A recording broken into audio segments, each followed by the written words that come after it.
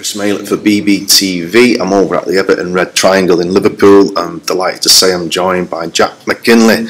Jack, you have your pro debut on Saturday night. It's been uh, a bit a long time in you know coming for you. It's been delayed a few times, but it's finally here. How are you feeling and, and looking forward to it? I'm sure. Yeah, I can't wait, mate. Just uh, ready to go now. All the hard work's done. Just can't wait to get in there. Mm-hmm. Can't wait for Saturday.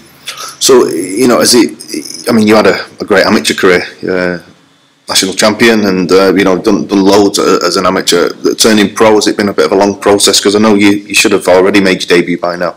Yeah, uh, yeah. It's hard to um, it's hard to do as well as I could as an amateur, um, and then towards the end of my amateur career, come come on the bad side of a few decisions. So I just thought, you know, turn over, see what I can do here. But the way things are going, like the training and stuff, I think it suits suits me, my style. So I'm glad I made the move. Glad I mm. turned over. Like. Mm.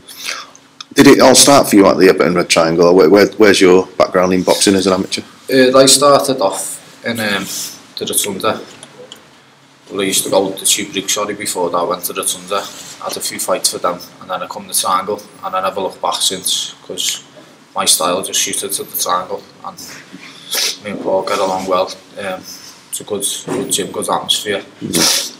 It's thriving as well, and there's loads of uh, upcoming prospects, all almost at the same same level, you know, and um, yeah. all driving each other on. I'm sure. And I mean, the last show, some of the, the you know the talent that you have got coming out of here, it, it's uh, it's a great time to be here and be around it all, isn't it? Yeah, it's unbelievable, mate. It's uh, it's proper like up and coming gym. Um, some of the some of the lads in the gym are just like unbelievable. Like it's good to train alongside them. Um, we always push each other on and spar and stuff like that always train hard. Um, it's just good to be a part of. A lot of different styles as well, but you have some uh, good spars in there usually. yeah, we just Paul Lester holds us back sometimes. You know, uh, yeah, just like says take your foot off the gas. Yeah. The only thing we have to worry about is not getting injured. Mm, yeah, good. Yeah, yeah. And Paul's uh, really dedicated to the game, isn't he? And I'm sure uh, you know his enthusiasm and you know um, will to succeed in the game as, as a coach rubs off on, on all you as well. Does, not just in, in the ring, outside the ring as well. He conducts himself well. He's a, he's a good role model. He's, a, he's, he's got a lot of boxing knowledge and I, I enjoy listening to him, even when he speaks. I just listen like a sponge and take in everything what he's saying. Mm. So it's good to be around him. Like.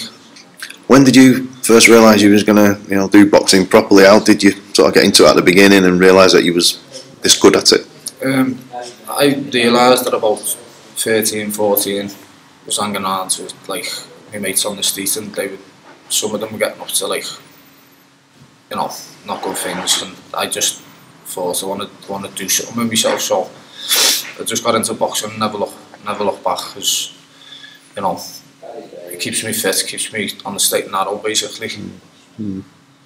What's your style like? If uh, you know someone never saw seen you box before, what what can we expect to see? From? Uh, I'd say it depends on the opponent. Um, I'm more of a aggressive counter puncher. Um, I like to come forward a lot, but I can also box on the back foot. Uh, like I said, I, I try and figure the opponent out where I'm in there. Unless I know something about them, come fight night, I'll figure out what I'm going to do in, in the ring. Like what's put in front of me, I'll just adapt to that style. Yeah, yeah. So. Uh, Liverpool boxing, you know, it's been, it's, it's always been a hotbed of, uh, for boxing. It's a boxing city.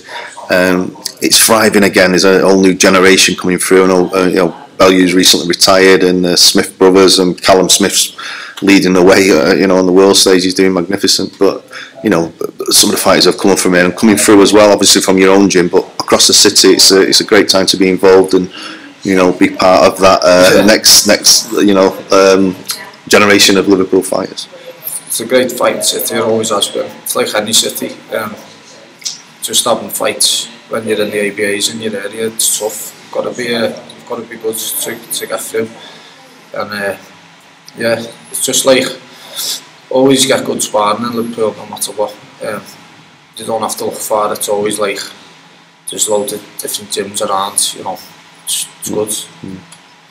Pro debut then Saturday night. Um, you know, it's getting that one out of the way. It's it's most important. You know, it's you'll never get your debut back again. I'm sure it's uh, going to be a special night for you. Um, you know, if um, is, have you been doing well with tickets that kind of thing? Have people been supporting you and getting behind you, and you know, realising what an important day Saturday is for you? Yeah, to be honest, I, uh, I have I've done all right on the tickets. I could do a lot better, but um, I think once people start seeing me getting in there and doing what I can do, like the tickets will start doing better, and Mm. I'll just go from go from there. But um, I've just been enjoying it, mate. And uh, like you said, you only get one debut, and I just can't wait to get in there. Just cannot wait. And looking forward, you know, when you when you sit and analyse your career and where you, where you're going in the game, you know, what do you see? What are your dreams and aspirations for the future? I just, I, I, I obviously want to be British champion and then go from go from British to to a level of it if I get there. Which I'm, I'm confident in myself. Like I know I'm a late starter, but you know I've still got a lot in the tank. So I haven't got loads of miles on me clock. I think I'm going to be a real threat in the division. Like I think uh, I'm going to be one to watch. What division will you be settling into eventually when you start? You know, welterweight, welterweight, because uh, as an amateur, I don't like super lightweight, so I just uh, struggled to make the weight as an amateur. And, you know, I think at, at that weight, welterweight, I'd be strong. I'd, be, I'd, be, I'd be strong. Well, looking, we're looking forward to seeing you uh, get in there eventually. Get you know, get your pro debut. And anyone who, who wants tickets now this week or late on, what what can they do to get them and put it on the screen there? You know, and Yeah, uh, anyone who contact. wants tickets, they can message me directly on my Instagram or on my Facebook, and um, you know, they, they get behind me and get behind some of the lads as well who are on the show. Just make make make it happen. Yeah, it's going to be a good show.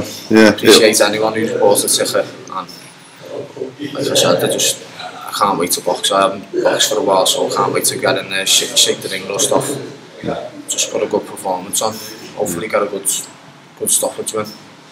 well, look out for look out for this guy, Jack McKinlay. Uh, pro debut Saturday. It's going to be a good show if anything. You know, the talent on there. There's some great, great up and coming prospects as, as well as yourself. So it should be a great night, and looking forward to it.